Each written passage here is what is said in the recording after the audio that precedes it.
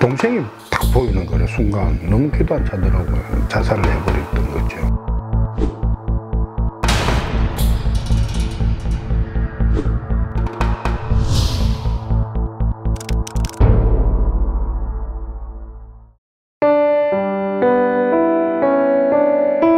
내가 별명이 뭐냐면 진짜 정말 재수없는 별명 통띠라고 해가지고 통띠는 뭐냐면 그때는 얼굴이 조금 예쁘게 생기고 좀 귀엽게 생긴 아들은 남자들의 성놀이게끔 이제. 그러니까 날 어디 소대 가면 나는 그 소대장에 서- 아니면 서- 조장이나 성무나 이런 사람들한테 성폭행을 당하는 거지. 밥을 먹었는데 거의 그냥 그 전어젓갈.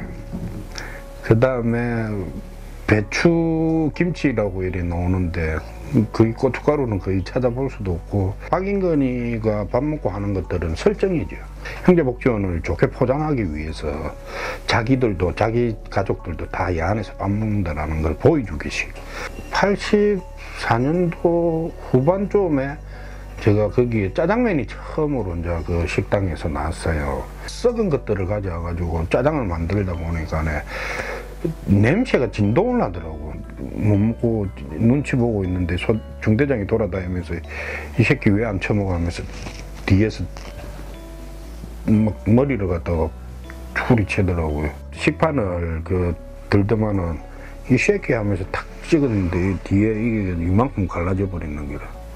그 피가 막 훅 나는데 중대장이 얘이 새끼 뜯고 가 저 어묵과 그때 이제 좀 내가 갔었죠.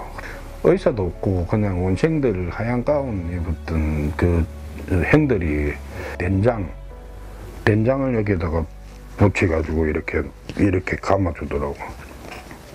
그게 다 했어요. 이건 내가 쓴 거거든. 당첨돼가 그때 볼펜 받았지. 나는 이거를 쓸 때 집에 가고 싶은 눈물 흘리가면서 쓴 건데 그 내 눈물이 통했던 모양이라 그게 제 마음지에 실렸던 거지. 이건 정말 충격적인 이야기인데 제가 그 개건국민학교를 졸업을 했어요. 개건국민학교 담임 선생이 형제복지원의 그 분교의 선생으로 들어왔더라고.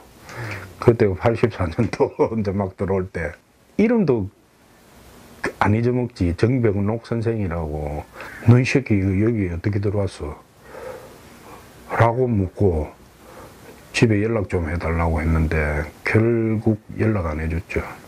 그 뒤로부터는 어, 저를 안 부르더라고.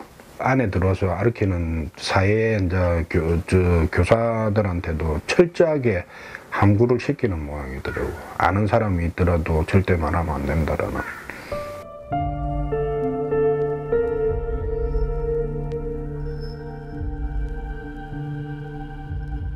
그럼 85년도 때 그때 제가 아마 그 그때가 봄쯤이었을 거야. 식당에 이제 밥 먹으러 가는 이제 그 소대에 줄을 서가 있는데 그때 눈앞에 동생이 딱 보이는 거래 순간. 너무 놀래가지고 말 한마디도 못했죠. 부동자세로 있어야 되니까. 얼굴 막 인상적이면서 쳐다보니까 동생도 나를 보고 포도만은 눈물을 흘리더라고. 같이 86년도 10월 30일 날 제가 그 아버지가 와가지고 내가 기가 조치됐거든요. 동생은 그 85년도에 서울에 아버지하고 있다가 그 형이 보고 싶어서 부산에 내려왔대. 서면에 오락실에 있다가 경찰관에게 끌려가지고 형제복지원에 들어오게 됐다 하더라고요. 그러고 나서 13소대에서 내가 겪었던 것들과 똑같은 일들을 겪었더라고. 너무 기도 안 차더라고요.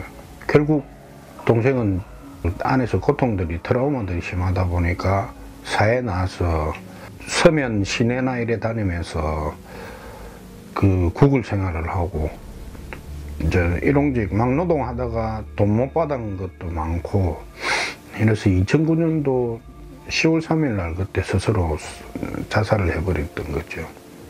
경찰들이 잡아놨지만 국가의 책임을 그 물을 수 있는 그 생각조차도 없었던 거죠. 그냥 부모 파탄만 하고 왜 우리가 안에 있을 때 찾으러 오지 않았나라는 그 아버지의 원망, 아버지를 아버지라고 부르지 못했던 거죠. 왜 그러냐면 동생하고 그때 기가 조치되고 나서 아버지가 했던 말이 그 군대를 생각했는지 음, 그런데 들어갔다 올 수도 있지 임마 라고 한마디 그 한마디가 내한테는 엄청나게 큰 충격이었고 상처였던 거죠. 동생하고 내가 밖으로 나돌 수밖에 없는 거죠. 부모를 원망하니까.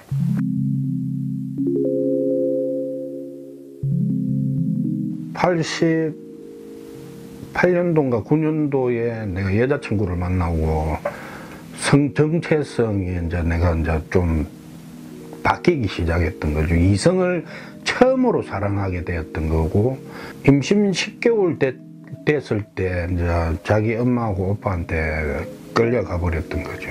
잡혀서.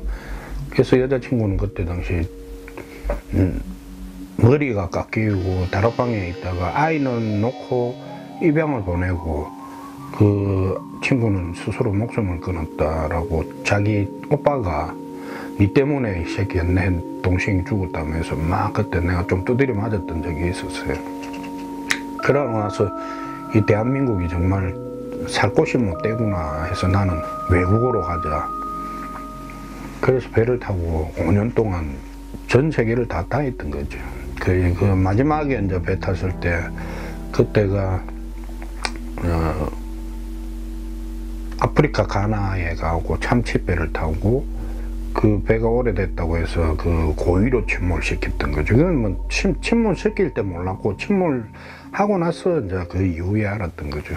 그때 당시 구조되고 그 현지 가나인들은 좀 죽고 저는 이제 한국으로 돌아오게 됐던 거죠. 그 뒤로부터 계속 동생하고 내하고는 교대 교대로 그렇게 막 공무집행방으로 뭐 교도소 들락날락 하다가 결국 동사무소에서 수급자를 만들어 주더라고요. 스물일곱 여덟 살때 거의 막 듬성듬성 빠져가지고 30대 초반에 다 빠져버린 거지. 그때부터 틀니를 하고 생활을 했던 거지. 그러니까 뭐 사회생활이 제대로 되지도 않고 이건 혈압약이고 이거는 정신과 약인 거라 이건 당뇨약이고 악몽이 그렇게 꾸지는 거야. 행제복지원 아니면 경찰관에 대한 악몽.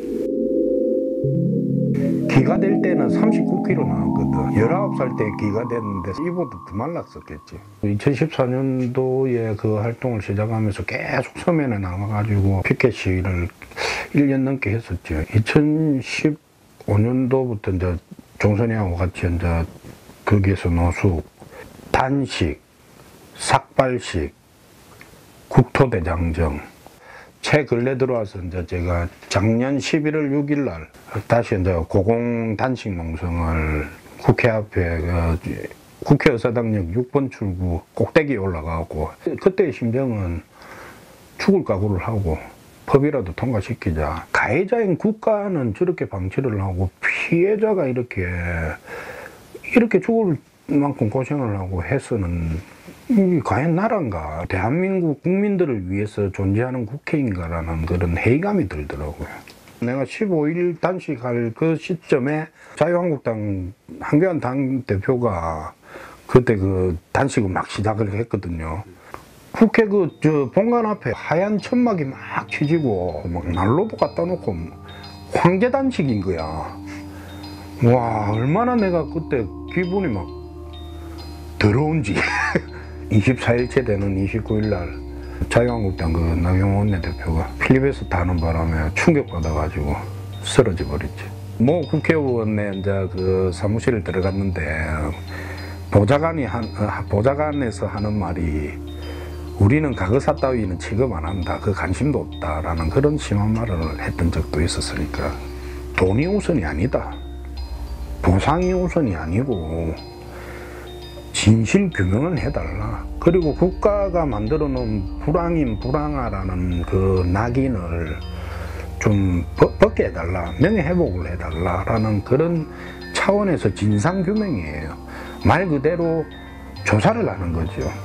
조사를 해서 국가가 잘못했던 것을 인정을 하고 대국민 사과를 해달라는 그게 첫 번째 목적이에요. 왜 내가 거기에 14살 때 잡혀갔는지, 내 동생이 왜 스스로 목숨을 끊어야 되는지, 좀 진상규명에 최선을 다해달라는 부탁을 드리고 싶습니다.